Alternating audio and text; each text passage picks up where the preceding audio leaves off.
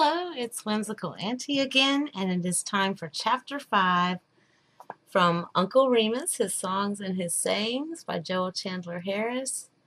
And this chapter is called The Story of the Deluge and How It Came About.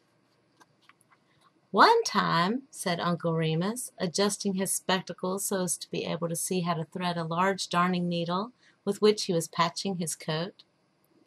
One time, way back yonder, fo yo was born, honey, and fo Mars John or Miss Sally was born, way back yonder, fo any of us was born, the animals and the creatures sort of lecturing round among theyselves, till at last they agreed for to have assembly.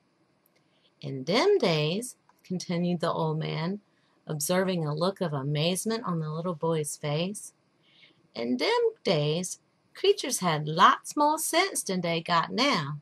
Let alone that, they had sense same like folks.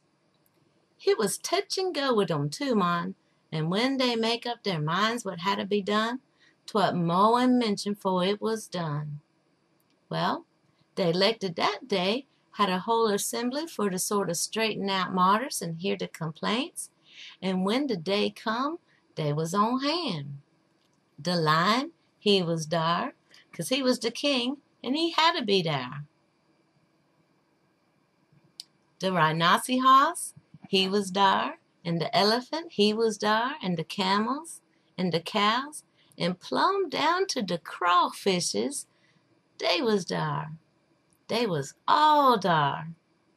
And when the lion shook his mane and took his seat in the big chair, then the session begun for to commence. What did they do, Uncle Remus? asked the little boy. I can't scarcely call to mind exactly what they did do, but they spoke speeches and hollered and cussed and flung the language round, just like when your daddy was going to run for the legislature and got left. Howsoever, they arranged their affairs and explained their business. By and by, while they was sputing longer one another, the elephant trampled on one of the crawfishes. 'Cause when that creature put his foot down, whatsomever's under dar was bound for to be squished, and they wasn't enough of that crawfish left for to tell that he'd been dar. This make the other crawfishes mighty mad, and they sort of swarmed together and drawed up a kind of preamble with some war fours in it, and read her out in the assembly. But bless gracious, such a racket was going on that nobody ain't hear it, ceppin' maybe the mud turkle and the spring lizard. And their influence was powerful lacking. By and by, whilst the unicorn was sputin' with the lion, and while the hyena was a laughin' to herself, the elephant squished another one of the crawfishes, and little Moan he'd a ruined the mud, mud turkle. Then the crawfishes, what they was left on 'em, swarmed together and drawed up another preamble with some more waffles. But they might as well have sung old Dan Tucker to a hurricane. The other creatures was too busy with their fussin' for to spawn onto the crawfishes.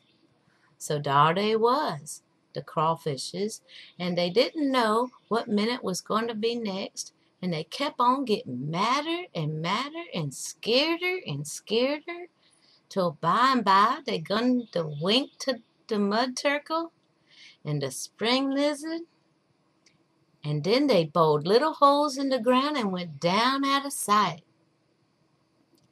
Who did, Uncle Remus? asked the little boy. The crawfishes, honey. They bowed into the ground and kept on bowing till they unloosed the fountains of the earth, and the water squirt out and riz higher and higher till the hills was covered, and the creatures was all drownded. And all because they let on among theyselves that they was bigger than the crawfishes. Here's a picture.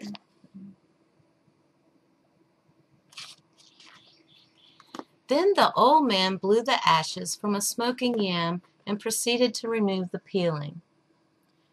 Where was the ark, Uncle Remus? asked the little boy. Which ark's that? asked the old man in a tone of well-feigned curiosity. Noah's ark, replied the child. Don't you pester with old man Noah, honey. I bound he took care of that ark. Dat's what he was dar for, and dat's what he done. Leastways, dat's what they tells me. But don't you bother longer dat ark, ceppin your mammy fetches it up. They moughter been two deluges, and then again they moutn't. If they was any ark in this year what the crawfishes brung on, I ain't hearin' tell on it. And when they ain't no arks round, I ain't got no time for to make 'em and put 'em up in there. It's getting your bedtime, honey. The end. Next is chapter 6 Mr. Rabbit grossly deceives Mr. Fox. Bye for now.